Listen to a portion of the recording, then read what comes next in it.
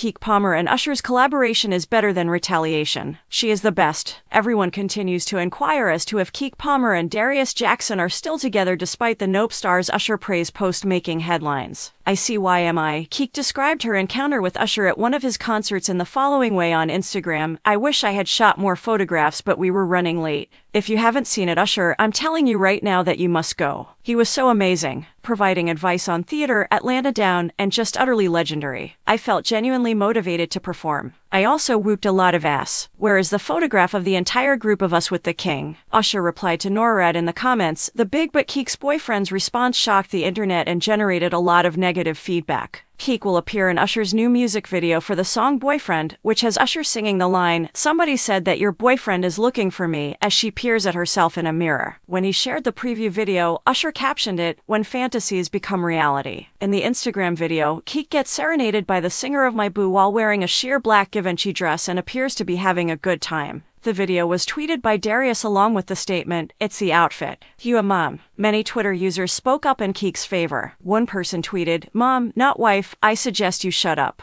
Another Twitter user commented, You don't have a place, man, unless there is a ring on that woman's finger. Even if you were married, it wouldn't be appropriate to publicly shame the mother of your child for her clothing choice. In relationships, possession doesn't typically work out well, and you're dating a very well known individual. Ideally, develop thicker skin. Another response advised against dating a Darius tweeted again the following day after he quoted the video. We live in a generation where a guy of the family is informed how much of a hater he is for not wanting the wife and mother of his children to display booty cheeks to satisfy others. This is my family and this is who I am. I adhere to certain morals and norms. I've made my case. After further online criticism, Darius removed his social media accounts. Days later, the profiles returned, but followers soon discovered that Darius had deleted all images of Keke from his account and stopped following her on social media. I'll be honest, I think before I even had the baby, I was really actually quite self conscious, Keke admitted in an interview with The Cut. Since having my baby, I've grown a lot stronger. We're going to lean into this new body, and I believe that's the overall vibe of what's occurring with me in this huge boss moment as I enter my 30 seconds, give birth to my son, and just keep growing as a young woman.